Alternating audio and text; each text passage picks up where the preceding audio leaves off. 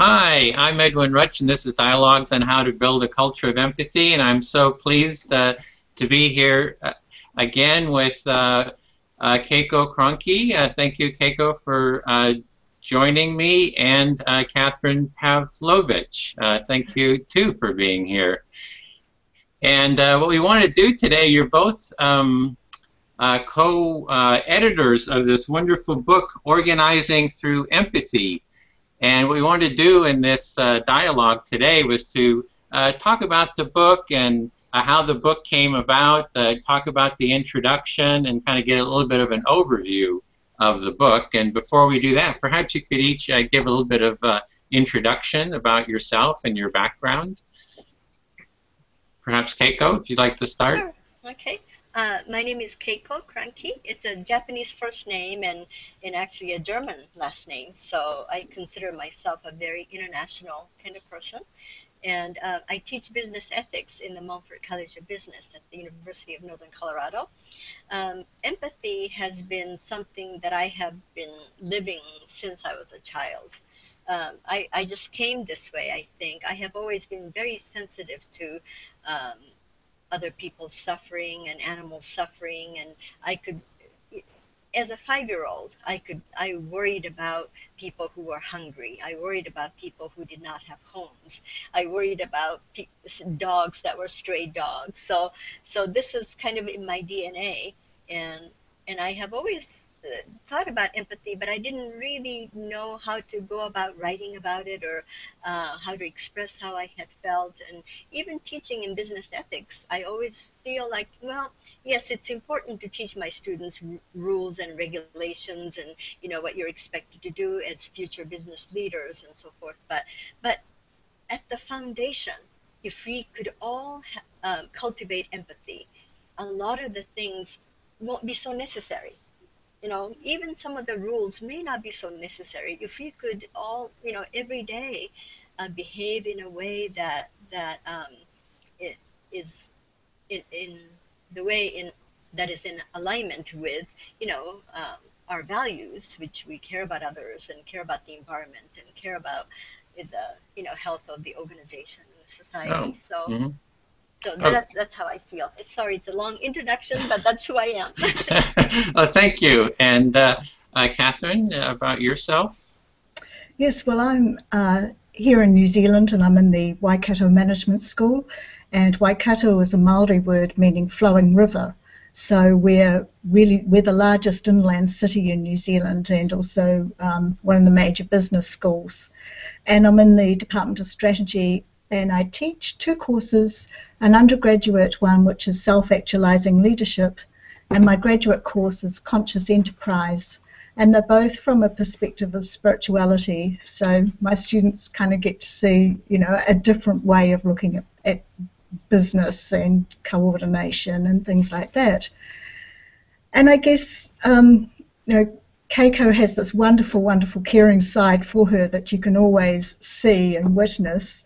Um, my path into this is a little bit different. Um, I kind of, when I was growing up, I kind of, like most of us, didn't feel we didn't quite fit. You know, I think everyone's got that story, but we have different reasons. And for me, the physical world is something that's that's important, but I can never I never remember the facts and all that sort of rational behavior that we're told is really important. And I used to ask questions like, you know, what about the fairies and and things like that. And so I was always quite in, intuitive. Um, I'm really interested in fractals, and you know how you, when you're a child, you put your finger on your eyes and you can see all these different patterns. So I was always interested in that space between us, and and and the, the world beyond the physical. And um, but of course, my my Catholic upbringing suggested that there was only one way of seeing the world, and to be able to look at different, maybe contemplative approaches was going to be a heretic, and you were all going to go to hell. So I never really explored that till later in life.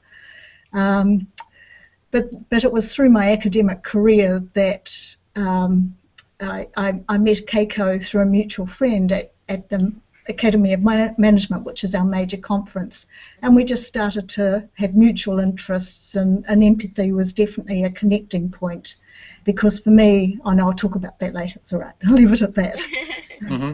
Okay. Well, great. Thank you for those introductions. And the the book uh, organizing through empathy it's a uh, it, the kind of the heading that really struck out to me is this book challenges the existing paradigm of capitalism by providing scientific evidence and empirical data that empathy is the most important uh, organizing mechanism. So uh, what we want to do is just hear about how did this book come about. You started uh, alluding to that, that you had met up and uh, that there was some kind of a connection around empathy. But I hear there was like an article that you worked uh, together on Keiko. You'd mentioned that before to me. Right. Well, Kathleen did a, a lot of work on that article. Uh, we have both felt that human organizations are not a box with you know separate individuals thrown in. So what makes a human organization a human organization, right? So um, so we often talk about organizing and management which is often about okay how to put you know where to put these people in this department or you know how to assign these you know projects to these people. We kind of think of that as organizing how to apply you know allocate resources. But um, the real organizing what what makes all these individuals connected to each other is empathy. So it's it can be like a glue or something that connects us and that makes uh, an organization um, more coherent whole kind of thing. So we are separate, but at the same time we're in- interconnected, and we can together become a whole. And empathy is what makes it happen. So, mm. and that's that's sort of what got started on that mm-hmm. article. So I, was hearing there that there's uh, there's kind of like a, you're saying that organizing can be done in maybe more of a directed way uh, versus a an empathic way. So kind of setting up those two different approaches. Is, was I hearing that correctly? Right. Well, in the mundane level, you know, you may see managers' job as okay, assigning tasks and you know allocating resources. But what really makes a human organization or a group or a team a real holistic, you know, a whole is um, without empathy. Uh, we're not really, you know, we may lose the sense of connectedness. Mm-hmm. And so Kathryn and I wanted to sort of elevate that notion of empathy from touchy feely, oh, I understand how you feel, to so we brought the neuroscience evidence and also more um, um, quantum, you know, physics evidence to show that it's not, we're not separate particles, we're not separate beings, that, that, that we really are interconnected. And if I, I could just add to that, you know, if we if we change our focus just from the physical world and we look at that space in between, and I think what fascinates me is the power of, of intuition or um, uh, you know, just being able to pick up things before they actually happen. And I know in my life I've had heaps of experiences of that. And you ask most people, and they you say, isn't it strange how you think of someone you haven't seen for years and then and then out of the blue you see them or they phone you or something like that?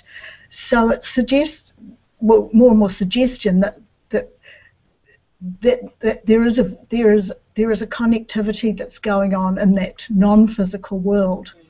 And we kind of know it but what neuroscience and what quantum physics is doing now is giving us tangible evidence that this actually happens. And so, you know, the the understanding of neuro, mirror neurons and various other, you know, brain, you know, I think there are about 10 uh, empathy circuits in the brain that they understand at the moment you know, we now know that actually the thought process actually has a physical quality to it, even though we can't see it. So information is being transferred at that subatomic level. And and what we're suggesting, you know, and I know neuroscience is really new in this area, so it's a it's a big leap, but nevertheless it's really exciting. So what we're suggesting is that that, that vehicle of connectivity actually exists. And what makes it strong is the power of empathy. And it's empathy that actually connects us. And so, uh, at, at an organizing level, um, you know, it's it's not money that actually makes the world go right round. It's actually those those deep, uh, connective, kind, caring thoughts that we actually have to each other, and if we actually put more power into those, what type of world can we create? I, I just think it's such an exciting area and such an exciting way of actually trying to be. Right. Mm-hmm. Um, I, I, think I may have said this to you, Edwin, before, but uh, Jeremy Rifkin said that empathy really is the, the future invisible hand that's going mm. to save humanity. Mm. Mm-hmm. So, uh, you know, Adam Smith, you know, talked about invisible hand as, you know, more of a financial, uh, uh, monetary terms, but but um, he's saying that in the future, empathy is is going to what saves us, and I really do believe that. Mm-hmm. Um, with all the technology available, um, you know, there may be some negative aspects to technology as well, but if we use it wisely, technology can connect us to people that we had never imagined before, right? Mm-hmm. And when something happens, we can know right away what other people eh, on the other side of the planet may be experiencing and we can reach out to help. And if we could do, we could do that more and more and more, I really think that we can. It's not impossible. Um, just like John Lennon said, right? Um, imagine, you know, all the all the people living as one, caring about each other. So it may sound a little ideal, but uh, you know, maybe too idealistic to some. But Kathryn and I both have believed that it's possible. Uh, so you're really, I'm going to maybe reflect a little bit as we go along here. I empathically reflect, hopefully, see if I'm following what you're saying empathically. So you're you're saying that, uh, uh, well, first, Kathryn, I was hearing that, that, you were talking about kind of a more intuitive sense, and that, that you can kind of sense other people kind of at this intuitive level, and now that neuroscience is is showing how that intuition actually works through mirror neurons. That there is a physical I mean, there is a psych, psych, scientific explanation for how that intuition works through uh, mirror neurons, and that we tend to maybe just look at this physical world, but there's this other kind of world that's kind of going on inside that works through mirror neurons and is kind of the which are the basis of empathy. So. Um, and then in, in, Keiko, I was hearing that uh, you're looking at uh, kind of having kind of a vision of a, of a better world and that you're feeling that empathy is, is the way of, of getting uh, to that better world. I mean, that's kind of what I was hearing so far. Yes. Am I yes. kind of getting that? yes. No, yeah, lots I, of interesting points to, to further. Mm, mm, and I, I think I think empathy is more than getting to the wor- better world. It actually it actually is fundamentally the way and you know I, the whole notion of virtues and values and ethics has kind of not been that dominant in, in our business world, I guess, over the last mm. couple of decades. But you know, Aristotle said that a life, a, you know, living a good life is really important, and a life without good purpose is no life at all.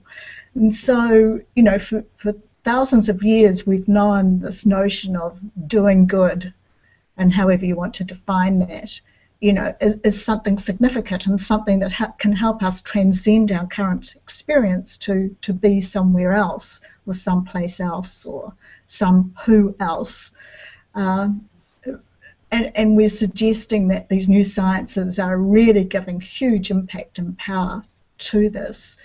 And like quantum physics, for instance, and no one really understands it, but at the subatomic level, you know, the atoms can be in two places at once. I mean, they can bilocate.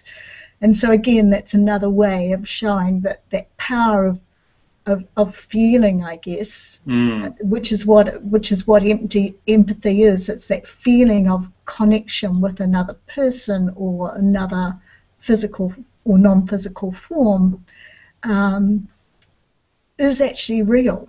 Mm-hmm.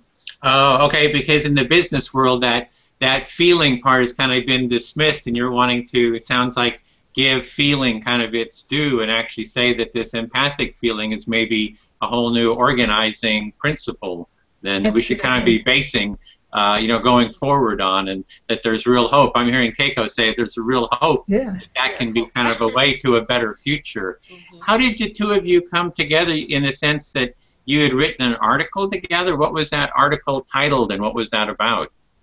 That's how this book came about, as I understand. So the article was um, empathy, connectedness, and organizing, and it was published in the Journal of Business Ethics and well, before that we submitted it to the Academy of Management and it got a Best Paper Award in the Management, Spirituality and, and Religion division.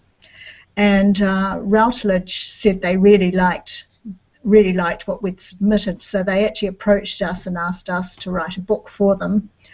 Um, of course, Routledge is one of the top publishers, so we weren't going to say no.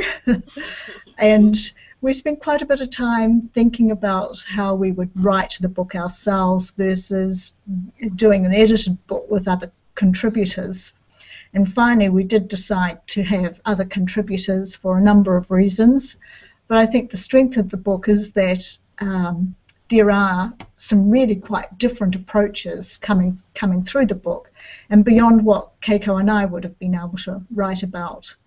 And yeah, and, and, and you know, it was a really interesting journey trying to put forward a call for papers, reviewing them, trying to think, my gosh, they're so, they're such a different, diverse selection of papers. How do we actually make it into a coherent volume? But it did come together, and we're really, really pleased with the the outcome.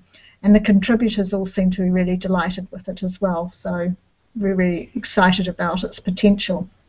Right. And before that article, Kathryn and I uh, co-authored a, a, paper on you know how how to teach uh, management and business differently, right? Different kinds mm-hmm. of classroom activities that that may incorporate more contemplative practices and you know instead of teaching just to the left brain and uh, the rationality but how can we teach the whole person so we wrote an article about um, you know basically teaching differently um, incorporating human values and and so Kathryn wrote about how she teaches uh, incorporates certain projects in her classroom, and I talked about how I bring poetry and art and mm. things like that into. Some business professors may look at us as you know like we're nuts, but but Kathryn and I have have both dreamed about how we can teach people as as a whole person who is not mm-hmm. just a brain, but who, who has all these other other irrational parts, right? So that's how uh, Kathryn, Kathryn and I came together. Well, the I mean the the, the topic, you know, that you you're kind of working. You have a topic of uh, transcendent empathy, which really resonates uh, for me because you know, as a founder of the Center for Building a Culture of Empathy, that's what I also believe is that empathy can be this foundational human value that if we have these connections that you know so much can kind of come out of it uh, you know for just well-being for problem solving for innovation. And you're talking about a, a whole transcendent uh, transcendence of, of, of way of using it for transcendent organizing and and kind of this human uh, way of uh, connecting um, I have the outline or the introduction here, and you start off with kind of an overview of the book, and then you went into contemplative approaches uh, was kind of one of the subheadings. Maybe we could just go through the different, some of the headings. Um, obviously, you started talking about that, Keiko, how it sounds like you're kind of coming from a contemplative background.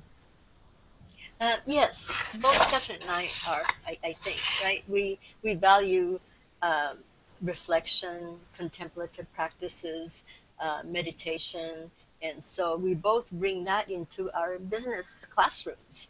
Mm. And um, my colleague and I, in my college actually, uh, we have been experimenting with uh, one minute meditation at the beginning of every class and see how students may feel differently at the end of the semester, see how they would do better or worse on exams. And so, um, and then empathy and contemplative practices do seem to be related and based on our chapter contributors and, and from other articles too. When we um, slow down and when we reflect, when, when we contemplate, it allows us to see all the other things that we may not be able to see in when we're just you know just using coming from a brain mode. Mm. Yes, and I, I think that the studies that are coming out of neuroscience at the moment are showing, are, are actually creating a new field called neurotheology. And the initial studies done were done with Buddhist monks, and they, you know, they, they'd wire them up and do the functional MRI scanning, and they'd show that they physically demonstrate that through um, meditation, their happiness modes were, were far greater up the spectrum than the normal population. And there's been lots of studies done since then that will keep confirming that if you are engaged in meditative practice or contemplative practices of some sort, you actually get different structural thickness you know, which dampens the amygdala, which which lessens our anger, and all types of things. I mean, I know at UCLA they've got a mindfulness center. Uh, the um, University of Massachusetts Medical School, they've got a very strong center there with Sara Lazar's work. And so the scientific evidence for me is absolutely overwhelming that contemplative practice actually increases empathy. Mm. And, you know, that's, I mean, and, and one of the interesting things that's coming out is you know the impacts of these different contemplative practice on different types of brain brain waves. And I know Fred um, Fred Travis and Dennis Heaton's work, who are some, one, some of the authors here, they can show that you know focused attention um, increases. I think it's the alpha brain waves. Sorry, I can't remember the, the exact ones. You know, versus um, transcendental meditation, which increases the is it the gamma waves? I'm not sure, but but they've actually got evidence of the different practices and how they actually change the brain structures and the brain waves. So exciting! Mm. Well, you you also mentioned I'm just kind of going through the the introduction had a couple of subheadings, so I'm kind of go, going through those. And one was uh, after contemplative approaches, you talked about uh, applied empathy and then he had some subheadings under applied empathy, and it was uh, the first one was empathy and leadership. What was that about uh, in terms of applied empathy, um, how it applies to leadership? Yes. So that was Veronica's uh, paper, and she takes a psychodynamic approach that looks on the impact of past experience on future behavior. And she's got a case study which she talks about in quite a bit of detail and, and following the, the impact of this very charismatic man and, and what he had on his organization, and then the various um, empathic approaches and how that could could develop the organization or not. So it's, it's, a, it's a very specifically applied theoretical construct, you know, which again gives us a different ins- insight and in, in how and how empathy can be used in a proactive way in an organization. Oh, I guess I should have said I see how the, um, you have uh, actually several different parts to the book, and the first part is contemplative approaches, and then you have uh, four uh, articles or contrib- chapters that are addressing the uh, contemplative approaches. So you have uh, consciousness and empathy in the brain as one, and then the source of empathy in our lives and exploratory journey into the realm of spirituality and empathy, self, other differentiation, mindfulness training, and then it looked there was a poem I think was number four. Yes, yes, that's correct. Yes, and so um, both Dunia's work on spirituality and then Paul's work on mindfulness are very interesting. Um, Paul I'm just trying to think. Um, the self-other differentiation that he talks about is yeah. is a very theoretical paper, and it's it's got a huge amount in, in it, and it, you really have to sit with that and really unpack what he's saying. But again, it's got the ability to really stretch our theory. It's something like you know Edwin and I had a discussion about. Um, often empathy can be you know, we, we get sucked into, we lose ourselves, right? When you're when we're feeling empathy towards um, others. So, so I think uh, in Paul's paper, he was talking about how we need to have clear differentiation between in self and other, and we need to have a, a clear foundation of who we are in order to uh, have healthy empathy. Mm-hmm. So it's that uh, quality in psychology that's talked a lot about as well in terms of for therapists that they need to have that differentiation versus kind of that merging quality that can happen within empathy. Um, I guess I should have uh, started with chapter one actually. So uh, I kind of were jumping around here. Um, the uh, so chapter one was, uh, which is part one is contemplative approaches to empathy, and chapter one is consciousness, empathy, and the brain. So this is where transcendence and empathy are are brought up. Uh, and that was by Dennis Heaton and uh, Fred Travis. Right. Do you want to say a few words about that chapter? I so they're from the Maharishi Institute, so they do a lot of work around this in, in functional MRI scanning. And I really was referencing their work when I was talking about the different types of, of contemplative practice and, and how it creates different types of brain waves. So in some ways I've already mm, talked mm-hmm. quite a bit about okay. about their chapter. And, and they very much come from a perspective of transcendental meditation and the impacts that that has. So it's looking at transcend meditation, transcendental meditation, and kind of the effects on empathy and how empathy relates to that. Yeah. Um, is and then uh, is is there more around that, or should we move on to chapter two? Keiko, do you have anything to add? Mm, well, a lot of that was that you know what Kathryn has already talked about, what happens in the brain and um, how meditation enhances empathy.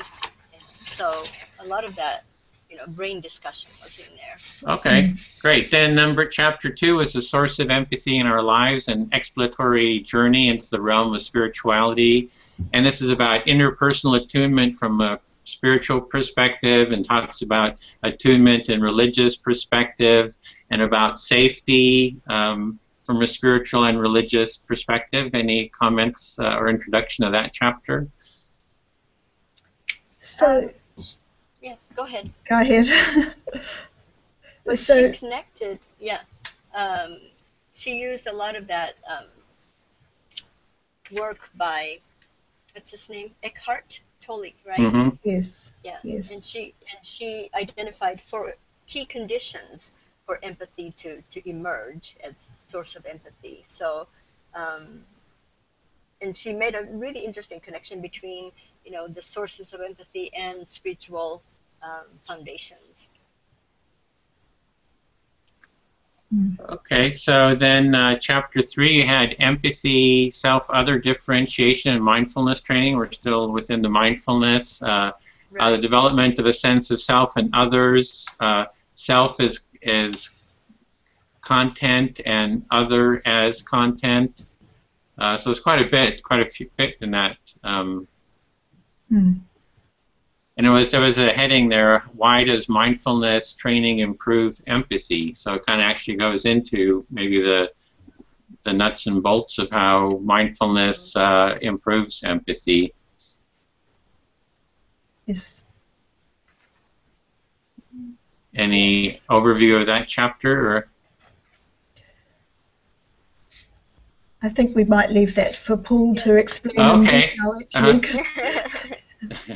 Steve. Okay, well, uh, then we went on to uh, part two. You have chapter five, working through the past, how personal history influenced leaders' emotions and the capacity for empathy.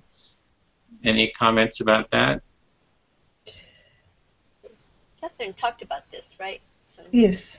Yeah, I kind of jumped back. I was I didn't go systematically through, so I'm sorry about that. That's uh, so okay then. Uh, about the, yeah, emotional insights. Yeah. And then chapter six is empathy. Yeah. Then uh, chapter six was empathy in a leadership uh, quintessential. Um, it has the nature of empathy and oh, it actually goes into some uh, different uh, leaders who exemplify, Right. personify. Yeah, it's case studies, different leaders who actually demonstrated empathy. And, and so our intention of having this applied uh, perspective for empathy with, with leadership and then decision making is that you know we, we started off by looking at it at empathy from a, a new science perspective and how it can change our social structures and it can be an organizing mechanism. And this section is very much, you know, this is what you can do in an organization and this is what some leaders have actually done in organizations. So it's a more of a, of a how-to from a more of a practical perspective. Hmm. So how to really how to do it within an organization, how some or, how some leaders actually did uh, Yeah. incorporate empathy into their into their organizations. And as I remember, there was like different. There's kind of different angles on. It sounds like the leaders kind of used different approaches for how Yes. they implemented empathy as well. That's right. Yes, yes. Yes, so Veronica's paper is more of a conceptual overview through one case study. And the, the second one, the quintessential, is looking, looking at practical benefits of empathy through leadership. And then we have uh, the second part, uh, 2B, is applied approaches to empathy and decision making. Uh, what is that about? And, and so we've, again, we've got two papers there that help us understand empathy. And the first one by um, Emmanuel and, and Jorg, they talk about um, the, the good approaches to empathy, but then when, when empathy can go wrong as well. And again, I've got that through case studies. And they also quite clearly make the difference or the separation between sympathy and empathy as well. Right. Um, it, I thought it was interesting that that they talked, well, in their presentation too, they talked about the negative aspects of empathy, which I hadn't, you know, uh, really thought about. How how could empathy turn, you know, go wrong in uh, decision ethical decision making? But some of the examples are that some leaders can feel almost too much empathy for certain people which may actually, you know, detract or take away from uh, feeling for other people. So um, it, it, I thought it was interesting. And there, there are ways to, to take care of that, I think. But, but um, Well, I hope we can uh, do a. be, be. I'm sorry. There's a little bit of a lag, so sorry speaking over you. Um, there was. Uh, I've been looking at that aspect too, you know, the, the criticisms of empathy, and there was an article here in uh, the New Yorker by Paul Bloom where he went into some of the negative aspects of empathy, and I've been having a bit of a discussion with him and been interviewing people around that. So I hope we can uh, talk with uh, with uh, George, George and Emanuela. I think the authors is it, be, uh, about those because I really would like to look into and discuss uh, those uh, negative aspects because I think one of them that was mentioned was personal distress that if you empathize you can become distressed. Uh, there was like favoritism if you have empathy for one party you'll have less empathy. You might may not have empathy for the other, and uh, for me, for example, that is of a lack of empathy. If you have empathy for one person and don't have it for the other, it means we have to, it's not a problem of empathy, it's the lack of empathy for those people. Right. And we need to expand our empathy. So I would love to have a kind of a kind of a detailed discussion about uh, about those uh, qualities. Notice I think another negative was malicious empathy, and then also using empathy to empathize with someone and then kind of manipulate them and say Oh. like a I've talked to uh, Frans de Waal about this. He always uses this story of uh, the used car salesman is using empathy to you know understand what you're wanting, and then their whole notion is to uh, you know sell you a lemon. So you know bad, Mhm. which is a bad car, at least here in the United States. I don't know what they call it in New Zealand. You see, I, I would actually question whether that is really empathy, because for me, this is it's a higher order. I don't know what to call it, but it, it's something at a higher order. Whereas if we're using empathy to manipulate, I don't actually think it's empathy. It's just I don't know. It's it's some other emotion that you're using. Yeah. That's exactly how I feel too. It's like the empathy is the part where you're connecting, and the Yeah. part where you're using manipulation is manipulation. So the problem Yeah. is not with the empathy, the problem is Right. with the manipulation, and Right. then kind of empathy gets blamed for its lack. Yeah. It's Yeah. like, oh, Right. you. It, it's like it totally doesn't make sense to me, but it's it's it's it's mentioned so often in in e- Yeah. you know, among academics and whatever. I'm like kind of stunned by that. That so I, we're kind of really in alignment there, Yeah. uh, Kathryn. Absolutely. Yeah, Mm. and to go into depth around that would be great too at Mm. some Right. point. And another interesting issue may be human capacity, because when I talk about empathy, is like my students may ask me, well, how is it possible for us to be empath- empathic all the time? You know, to all the employees, to all the, you know, every issue we deal with, and and how can you be empathic? How can you be eh, mindful all the time? And so, you know, I don't have a good answer to that, but I think it, you know, how, how capable can we? It's a human capacity issue. Um, because And if I know, could- apparently it gets, yeah, empathy gets blamed if we forget to empathic, not as empathic to some people as we could be to other people, right? If I can also add to that too, um, you know, I think being empathic isn't always about saying yes to everybody all the time. You know, it, it's Right. it's um, it's like being spiritual. Sometimes being spiritual is having the moral courage to actually stand up and say these things are not right, and you have Right. you know certain challenging decisions that have to come out Right. of that. Right, that's And I. I think the same can be applied with Mhm. empathy. It's not, oh, I love you all the time. I mean, Right. you do on the heart level, Mhm. but there are there are other decisions that need to be made Mhm, mhm. for true empathy, for transcendence to occur. Right, and that so one of the issues may be that um, people's definition and understanding of empathy only stopping at the heart level, maybe. So a lot of people may think that that empathy may be oh feeling, feeling, oh feeling, I feel for you, you know. Um, so excuse me. So maybe. Uh, we should keep promoting the more elevated. You know, empathy is more than just feeling, more than just you know emotions. Um, Yes. As what you said, I love you or I care about you. Sometimes emotion may be to to not say those things, right? Yeah. Well, I remember reading somewhere in the book the difference between sympathy and empathy in the sense that just feeling for someone in that sense can be just sympathy can be sympathy which kind of takes out of the empathic connection. And then the other part that I've been seeing is when we have empathy, and I would think the transcendent empathy is that that you may empathize with someone, but you also empathize with yourself in the sense that you are Right. also to be empathized with, and then it's an empathic relationship, so it's kind of requesting that the other person empathize with you as well. So if you're making those Right. difficult decisions, it's a matter of being heard about the difficulty you're having as well by others. There's just Right. not this one thing that we go and empathize with everybody else right, and don't right. get uh, be heard ourselves. So that's kind of how I kind of Yeah. look at right. that. Yeah. Right. Thank you Yeah. for reminding me. I often forget that empathy uh, is not just going from us, going one way from us to others, but you know, empathy is includes self-empathy too. So we can't just you know give and give and give and feel for other people all the time.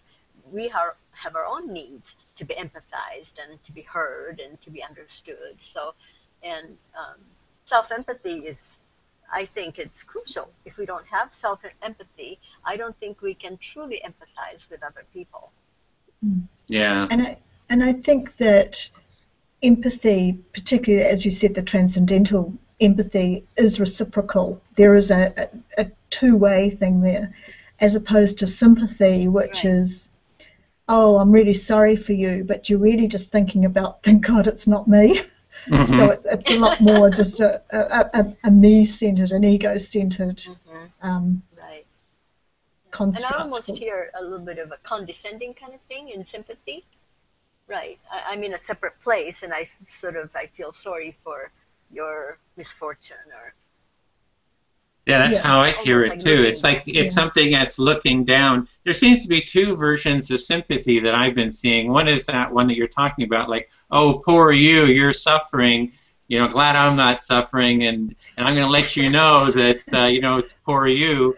And the other is the sympathy of like someone said, oh, maybe the story is uh, someone comes and says, oh, my mother died, and you say, oh, poor you. You know, I see you're suffering. You know, I feel sorry for you. But then the other, that seems to be one version of sympathy, and another version seems to be uh, that, oh, guess what? My mother died too, and I had such a hard time when my mother died. So it kind of takes the attention away from hearing the other person, empathizing with them fully, that it takes the attention back uh, to you, and it starts becoming about your story at that point. So that seems to be the two versions of sympathy that I've, I've noticed. Mm. And, that the and la- one latter one almost seems like empathy, but yeah. okay, go ahead. Now, while you're talking, I'm, I'm also thinking of the, the, the difference between the the Western versions of, emp- of empathy and the Eastern versions, and and most of the literature on empathy is like compassion. You know, we're we're looking out for someone suffering, whereas the the Eastern, the Buddhist philosophy of compassion slash empathy is just this open-heartedness you feel to all to all beings, regardless of what stage they're at.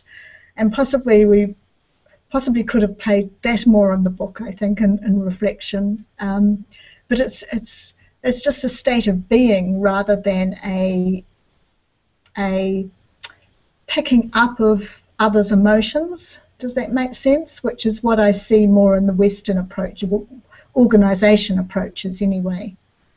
So, so, So- for me, for, for me, I guess empathy is more that trying to be in that open-heartedness space. Uh, so the empathy is like an open-hearted kind of openness to, and the other version of is the other way is I didn't quite catch that. There's an open-heartedness quality where you're kind of open-hearted to all and to life, and then the other.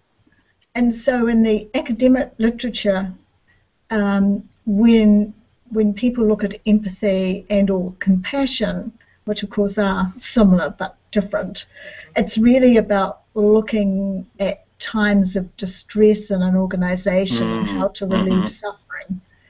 Whereas from a a Eastern perspective, you know, it's it's not yes, it is suffering, but it's more about just being open-hearted, no matter what the conditions. Well, that's my view of empathy as well. In terms of empathy, is empathizing with all feelings, all experiences, and not just that slice of experience that's uh, the suffering. And you hear with Buddhists, it's like life is suffering, and all you know. So there's a real focus on the suffering part.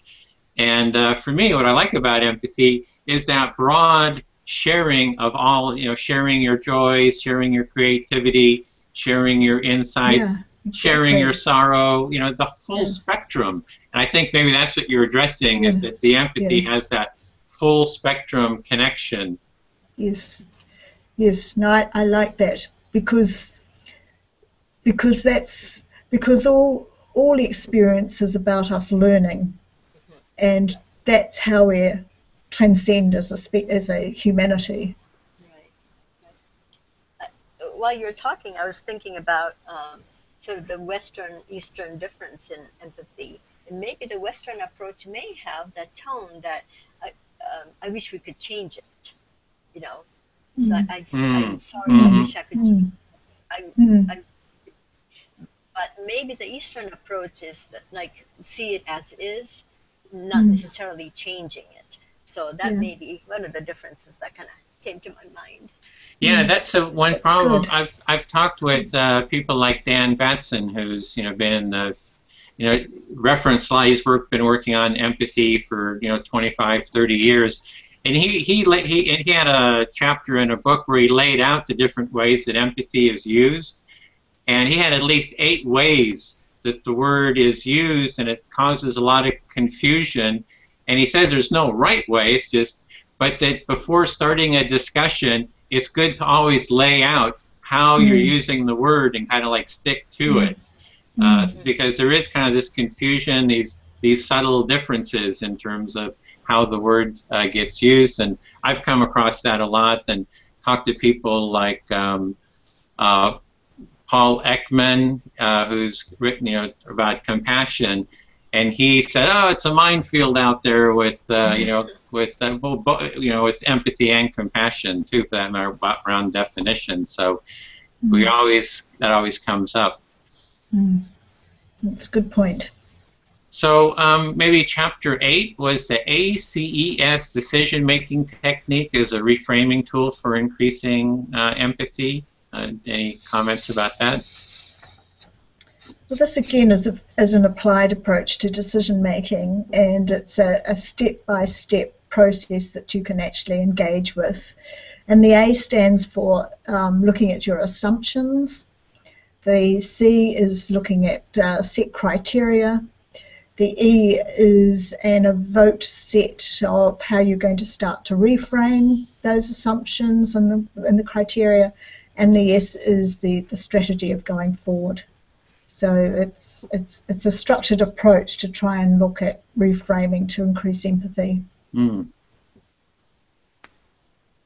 Okay, any comment on that, uh, Keiko, or should we move on?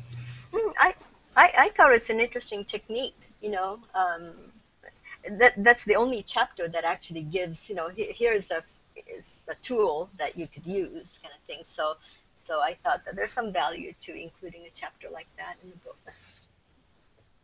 Great. So uh, then you will go on to part two, uh, section C, applied approaches to empathy contextual, and chapter nine was uh, um, uh, predicting empathy in the medical students and doctors. Yeah, and and so this section is Yeah. having um, so very very specific contexts where empathy is applied, and and so sports arena and medical students. I mean that's really really interesting to get a completely different perspective. Mhm. and in the and in um in Don Don Etel's chapter, you know, they're just saying they're just asking the question is is it possible to actually screen medical students right at the beginning and, and identify how much empathy they have? And that's not to eliminate them from the program, it's just to suggest that if they do suffer from what um, Baron Cohen talk, talks of empathy erosion, maybe there are ways of that being developed further through their training. And I mean, you know, it, it's such a, a caring profession that to be able to have empathy, I think, is really important. So it's just a really interesting way of looking at it. Right. Yeah. It's one one way to. They may actually decide to deselect some of those students who have very low empathy. Um, what's interesting to add is that I read an article outside of this chapter that that um, most doctors and nurses tend to have low empathy when they're practicing because they cannot really be feeling empathy every time they give a shot to someone. So they need to kind of turn it off.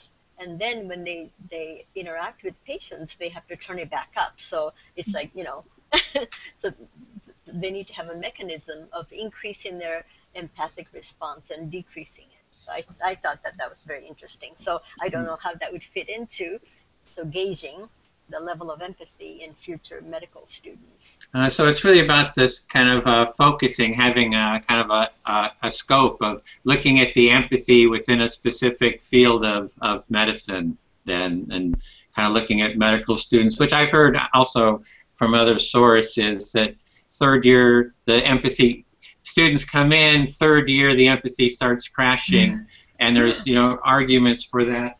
And I have a book. It's on the side here.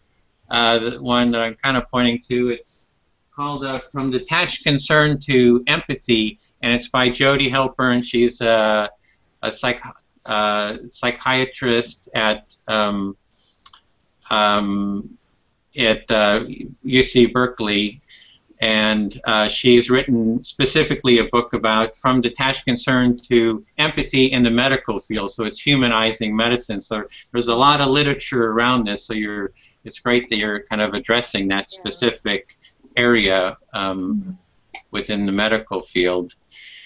Uh, then chapter 10 is the caring client, uh, climate, how sports environments can develop empathy uh, in young people.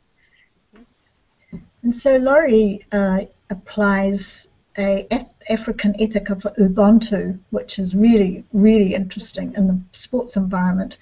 And I love this explanation that she she quotes here as Ubuntu is described as my humanity is caught up, is inextric- inextricably bound up in yours. We belong in a bundle of life. I am human because I belong. I participate and I share. And I, I just love that. And I guess, you know, they use the word Ubuntu, but for me that's that's actually what empathy is. It's that that oneness, that feeling of unity. And to be able to apply this within um, sports context with, with young people, I think is a really powerful way. And I'm very excited about this approach because it, it um, sorry, our fire alarm is going off. Uh-oh. because it, it shows that we can actually create change with young people. I might have to go. Uh-oh. Is that... I, just one thing though, before I do leave, um, it's probably just a false alarm, but I, I will need to go. Yeah. As, is I think the climate change that we're experiencing now is showing a new, a different side of humanity where we are coming together, and I'm sure you would have seen this, Keiko, and I've seen it in New Zealand with our earthquakes, where communities are coming together and actually experiencing empathy on a new level. Now, Okay, I'm with sorry. that, we, yeah, you oh, better go. We're I'm kind of worried about your safety, so... Okay, lovely to talk with you, and thank you for doing Great this. talking to you. Thank you, Kathryn.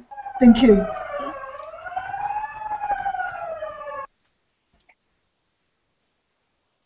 Wow, that was a dramatic end. I just wanted to add that this is a chapter that really kind of um, talks about what we were talking about before. It's not an individual thing. How we can, it's a cultural, you know, how, how we can create the culture and team-based approach and, you know, how as a team we can create a um, empathic culture kind of thing. So I think this chapter really relates to the discussion that we had before.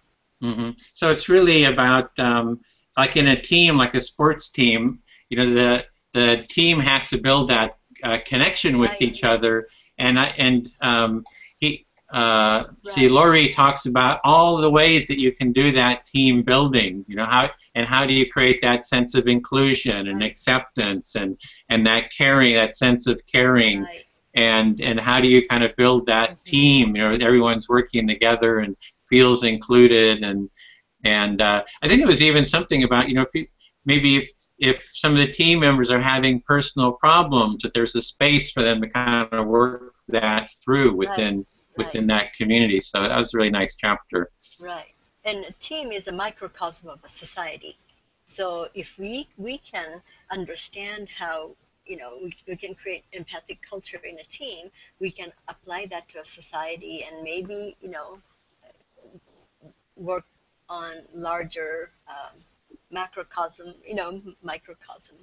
Mm, so the, the approaches and methods could be used kind of for the whole world kind of team in a sense like that. For all of humanity is maybe like a team. I, I think so.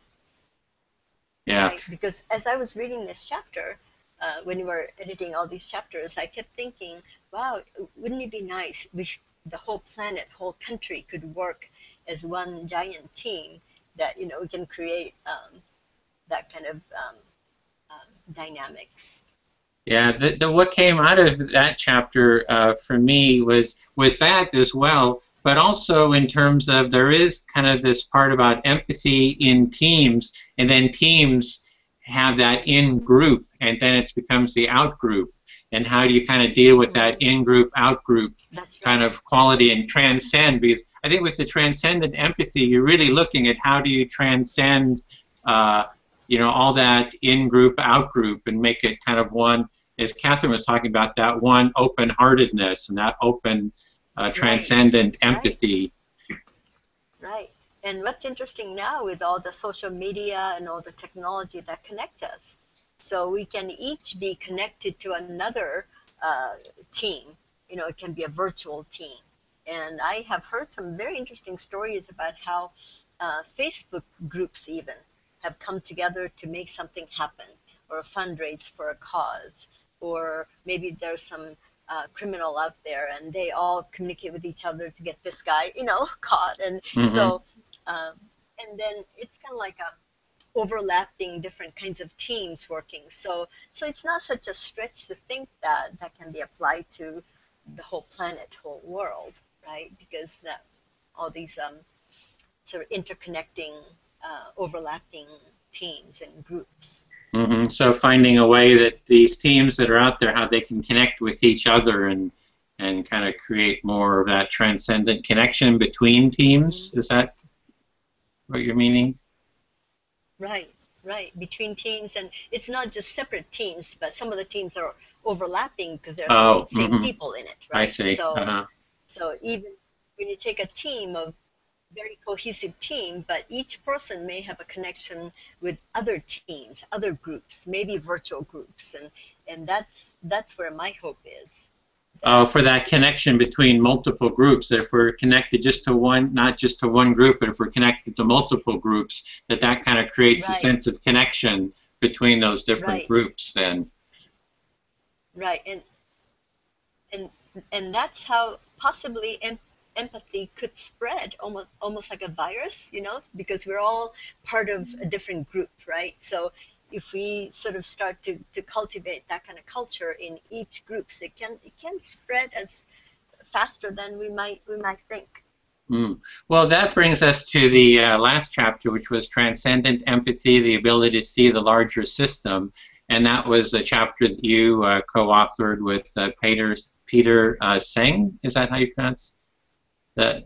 And uh, we did it. We already did it. Senge, Senge, and we did an hour-long uh, present uh, discussion on that, which I hope we'll do with more of these chapters. Right. Um, so there, you're talking about. I think that's really the core of the book. Is is that transcendent empathy? It's like how do we come to that uh, where empathy is like a, a foundational cultural value, and you know we. I mean that's how I'm kind of seeing it, and that's where kind of my hope is. Right, right. And and I would like to expand that too because even after we wrote that chapter, um, I'm trying to see how empathy can play a role in so many different. Well, we talked about this design, you know, uh, principle is one of them.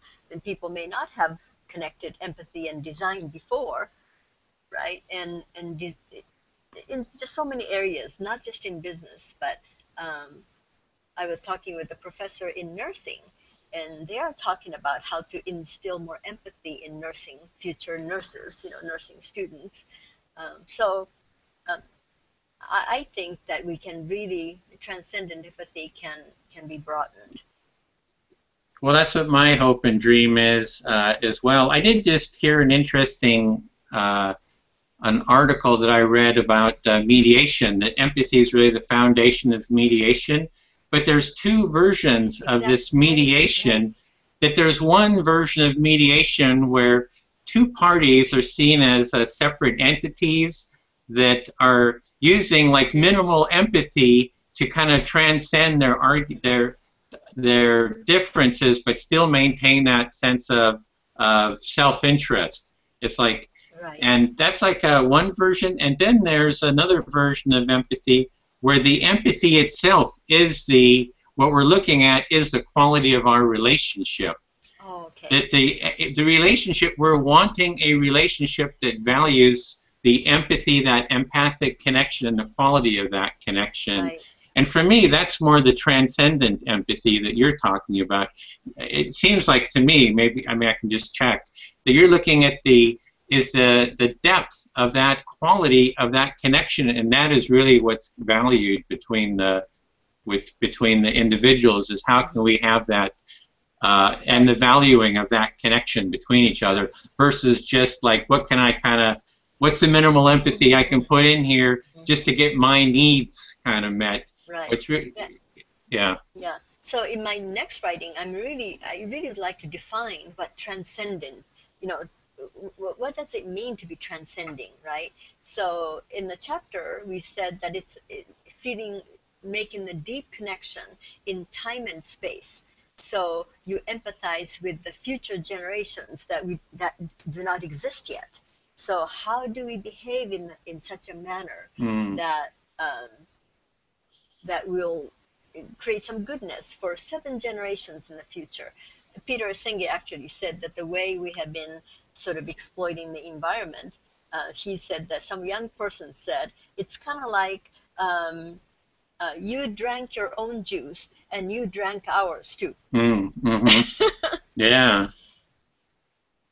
So it's well, almost like we're using our resources and we're using almost the future resources that belong to the future generations. So so transcendent empathy. So one definition of transcendence is that feeling empathy with or towards or for someone that does not even exist yet.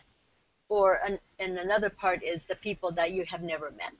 So we tend to often feel empathy for your own country people or the people who have the same religions or your family members. But how can we stretch our empathy to people who may have a different religion that you may not agree with? Can you still feel empathy towards people, you know, who may do certain things that you may not agree with, or um, you know, people you have never met before? Well, we you go into that in quite a depth in the interview that we did, so that is also available, and we we'll be doing some interviews with uh, some of the chapter uh, authors as well. Uh, so this is just our first version, our first uh, introduction to the book, and we will be going into more depth yes. in in each chapter. So I'm looking forward to that. So each of the chapters.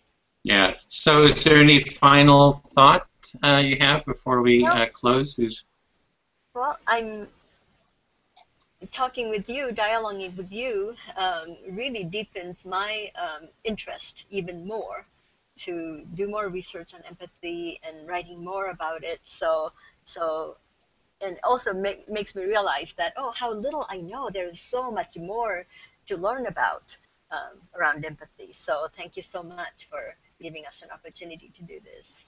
Yeah, and thank you so much for both of you to uh, to bring empathy into the workplace to really kind of articulate how it can be done. Because I think that's uh, you know if we can if we can do that, it's a great contribution to really turning society around. If we can bring empathy into organizations in in general. So uh, thank you for all your the work you're I doing. So. yes, in many people's mind, empathy and business may still be very unlikely partners but I hope in the future that they won't be so unlikely.